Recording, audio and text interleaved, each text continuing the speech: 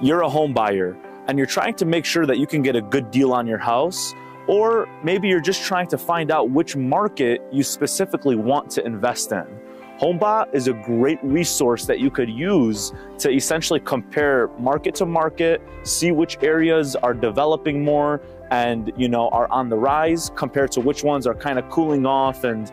you know you might want to stay away from. It's a good tool to also, you know, compare certain properties in a specific area to make sure you're getting a good value Whenever you're trying to figure out what a value of a home could potentially be after you repair it or what the value is now, you could always see what the house is sold for in that area within the last three or six months. Looking at that will give you a good idea of what that house would actually appraise for, and it'll give you some, you know, comfortability and reassurance that you're getting a good deal.